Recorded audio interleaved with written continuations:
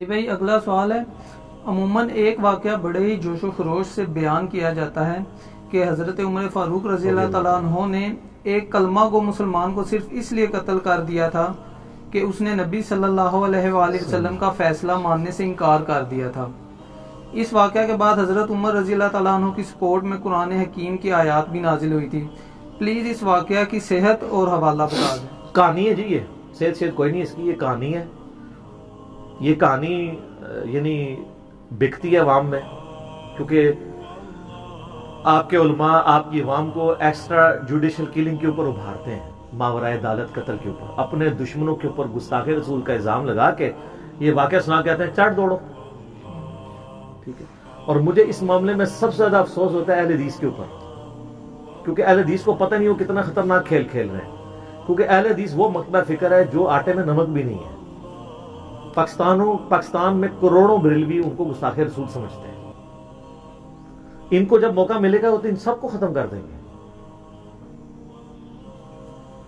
जो बात बात के ऊपर वो ला के तो वो किताब पेश करते हैं सारिमुल मसलूल शातिम रसूल, जो इब्न तैमिया इनके गले में घाटे में फिट कर गया। इनको पता ही नहीं है इनके ऊपर फिट होनी है। फिर ये मावराए अदालत कत्ल करने वाले कानून को हाथ में लेने वाले लोगों के गायबाना नमाज़ जनाजा ये लोग पढ़ रहे होते हैं। ये अपने जनाजे पढ़ रहे हैं ये लोग दोबारा अगर ज़िंदा हो जाए ना, जिनके आप जनाजे पढ़ रहे हैं और उनसे पूछे कि अहले हदीस क्या है, कहेंगे, हमें मौका मिले तो इन्हें भी भ्रष्ट मारे हम। गुस्ताख समझते तो आप इन लोगों के जनाजे पढ़ रहे हैं, जो आपको शहादत के दर्जे पे फाइज करने के लिए बेताब है। तो आप किस चीज़ को सपोर्ट कर रहे हैं? और उसमें प्ली इसी अजद उमर के वाक्य से ली जाती है। बिल्कुल गलत है। इसके अगेंस्ट बुहारी मुस्लिम में दर्जनों वाकयात हैं कि नबी इस्लाम की मौजूदगी में जब कभी भी इस तरह का इशू हुआ तो हज़रत उमर क्या कहते थे? यारसुल्ला इजाज़त दे मैं इस गुस्ताख का गला काटूं। ये हज़रत उमर की भी तोहिन कर रहे हैं। नबी इस्लाम से ज़्यादा लिए बगैर इन्होंने गर्दन काट देनी थी। वो कहते हैं वो नबी इस्लाम एक यहूदी और एक मुनाफिक का झगड़ा हुआ। तो नबी इस्लाम ने यहूदी के हक में फैसला किया तो उसको मुनाफिक को पसंद नहीं आया तो वो आ गया हज़रत अबू बकर के पास।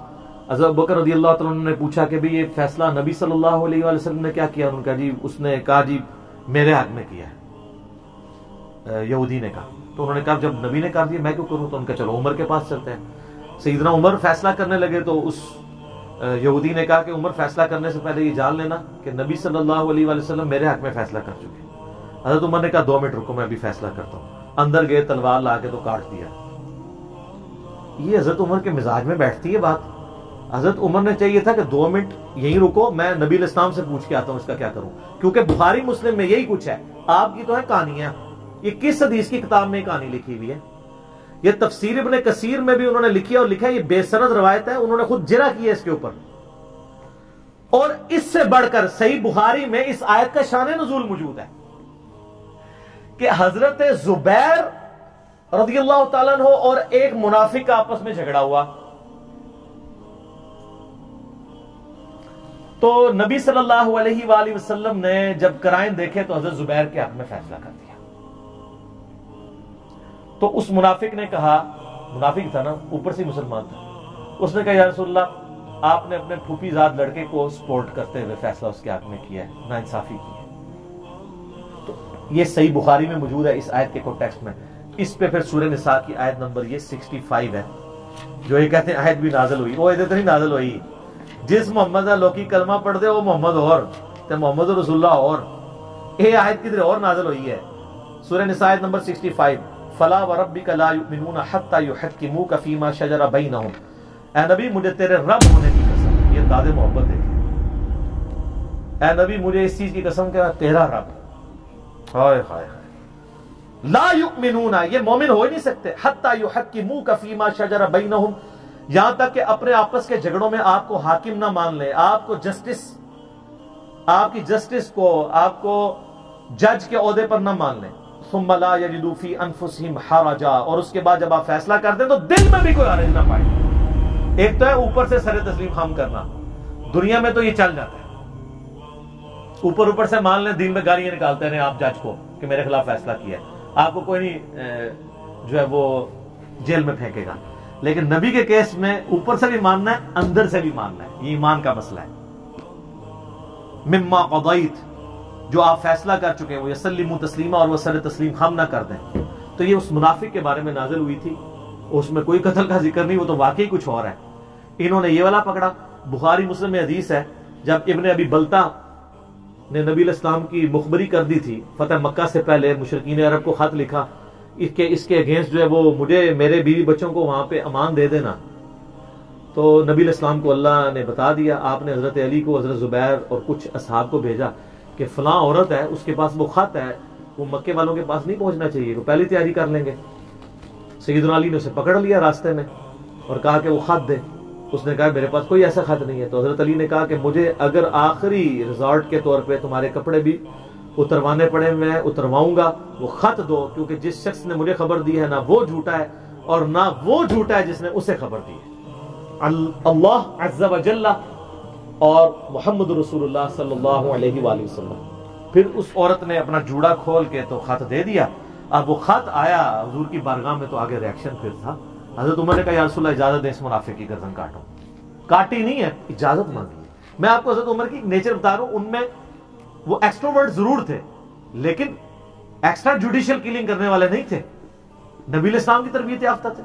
आप फरमाया, उम्र छोड़ दो, तुम्हें नहीं पता बदरी सहाबा कि अल्लाह ने अगली पिछली गलतियाँ माफ़ कर दी यानी वो दुनिया से मगलूब हुआ था। अगरचे है, उसकी गद्दारी मुनाफकत थी। नबी के साथ गद्दारी और क्या हो सकती इस पे इमाम बुहारी ने बाप बांधा कि अगर कोई तावील की गलती की वजह से किसी को मुनाफिक कह दे तो उस पर कुफर का फतवा नहीं लौटता। ये जो अक्सर कहते हैं ना जी, वो साहबा को काफर कहने वाला क्या खुद काफर हो जाएगा? वो मसला मैंने उसमें एड्रेस किया हुआ है। अगर कोई तावील की गलती की वजह से ऐसा कोई मामला करता है, कुफर उसकी तरफ़ नहीं लौटता। ये बड़ा सेंसिटिव इशू है। यहाँ पे हज़रत उमर ने एक बदरी साहबी को मुनाफिक कहा, उसमें हदीस में नहीं आता, आपने कहा कि उमर तुमने मुनाफिक है, और बुहारी मुस्लिम की हदीस है, जो किसी को काफिर कहे तो फतवा उसकी तरफ़ लौट आता है, तुम भी तोबा करो।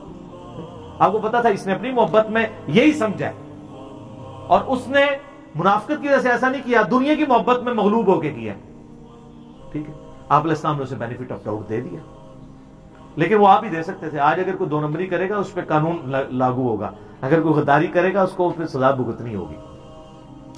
तो इस तरह के इश्यूज़ जो है ना, वो उनको बड़ा दिक्कत नज़र से इल्मी तौर पर देखने की ज़रूरत है।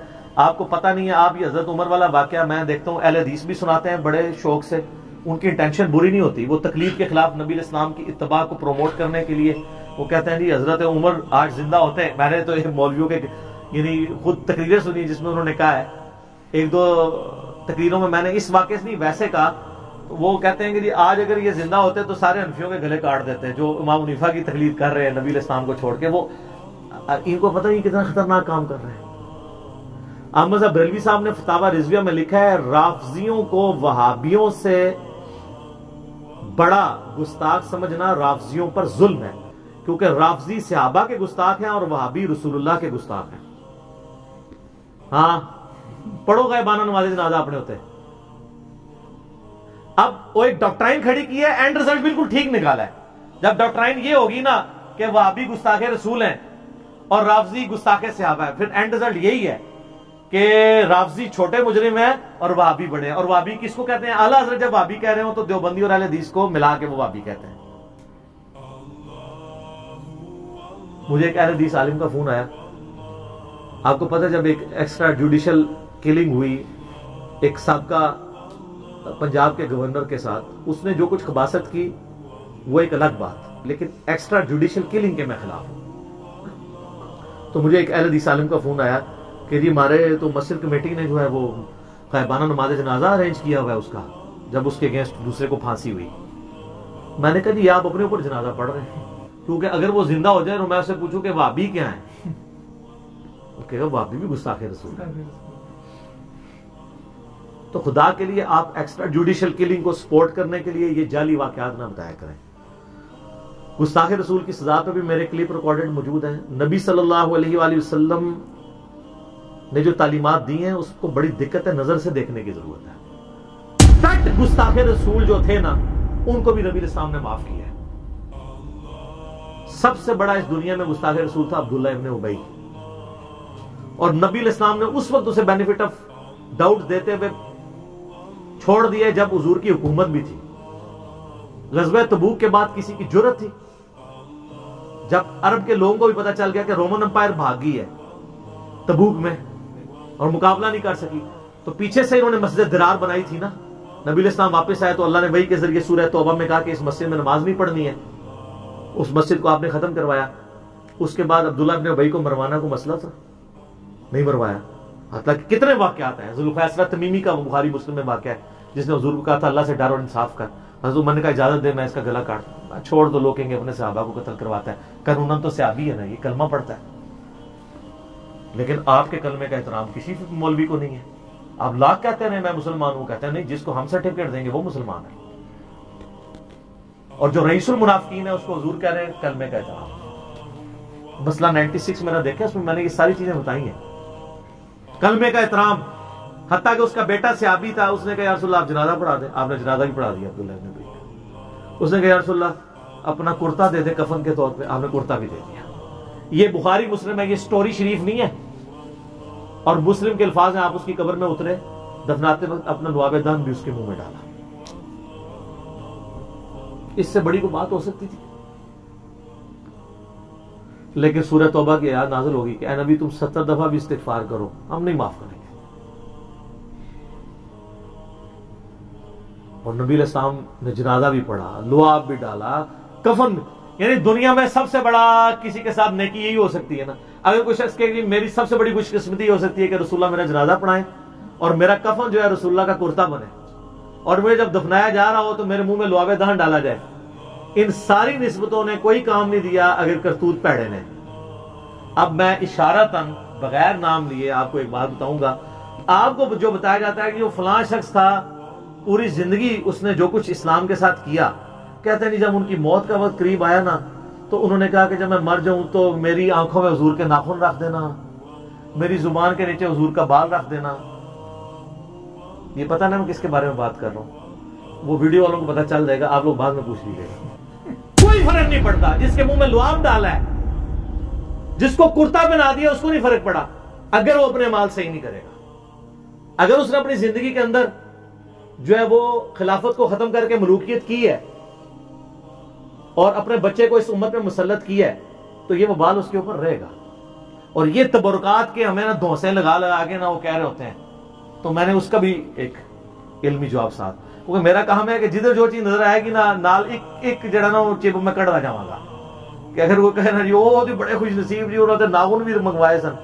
वो जिन्हें मुझ थुक पाया है, लुआबे दहन मुबारक जिन्होंने कुर्ता हजूर ने दिता है अपना ਉਹਨੂੰ नहीं फर्क ਪਿਆ ਇਹਨਾਂ चीजों में फर्क नहीं ਪੈਂਦੇ इन अक्रमकुम इंदल्लाहि अतकाकुम अल्लाह के हजूर तकवे की कदर है सिर्फ निस्बतों से कुछ नहीं होता हाँ अगर करतूत सही हो फिर निस्बत भी फायदा देगी फिर फातिमा ही जनती औरतों के सरदार है ठीक है और जनती नौजवानों का सरदार अब्दुल्ला बिन उमर नहीं है वो हसन हुसैन ही है हालांकि अब्दुल्ला बिन उमर भी किसी से काम नहीं थे अब्दुलरमान बिन अभी बकर भी किसी से काम नहीं थे सईदा आयशा भी किसी से कम नहीं थी। लेकिन जनती औरतों के सरदार कौन? सईदा फातिमा। ठीक है ना जी? और ये तो बुखारी मुस्लिम में कि फातिमा मेरी बच्ची जनती औरतों की सरदार है। और मेरे मरने के बाद मेरे अहले बैत में सबसे पहले मुझे आके मिलेगी। इसी पे हज़रत फातिमा फिर खुश हो गई थी। जो एक बात कही तो रो पड़ी। रोने वाली आपने अपनी वफात की खबर दी थी। तो ये बुखारी मुस्लिम दोनों में हदीस है। निस्बत फ़ायदा देगी जब आपके अमाल दुरुस्त होंगे। जब अमाल दुरुस्त नहीं तो आप बेशक कहते रहे शादी तुम भी कहते रहो। क्या उम्मती तो दूसरे शाह साहब अज नहीं बैठे वो कहते नहीं, उम्मती। वो असी थोड़े उम्मती नहीं शाह जी। असी नबी सलम दे उम्मती हाँ तो ये निस्बत तब आपको काम आएगी, जब आपके करतूत भी वो होंगे। उम्मती हो तो सूटे सारे दिन बह के मारते रहते हो दरबार से सारी भंग तुम बेचो। है जी? और फिर सानू कहते जी जनाब, असि तो जन्नत दरवाजे से खलोता होना तो आखिर भेजना है ये कह रहे होते हैं? एलानिया कह रहे होते हैं, जनाब, जन्नत दरवाजे तसी खलोता। वो जन्नत दायरे तो नहीं खलोता होना, वो सही हदीस मौजूद है फजाले से आबा में, कि सैदना सलमान फारसी कहते हैं कि हौजे को असर पे सैदना अली हसन हुसैन और सईदा फातिमा होगी। वो उनके लिए, वो आप लोग नहीं है, ठीक है? आपका और स्टेटस हमारा बराबर ही है, इस हवाले से, उम्मती होने के बाद से। बाकी तो हम सरसी कहने हैं, सलाल पर मोहम्मद वाले मोहम्मद अल्लाह मोहम्मद वो आल मोहम्मद। ठीक हो गए?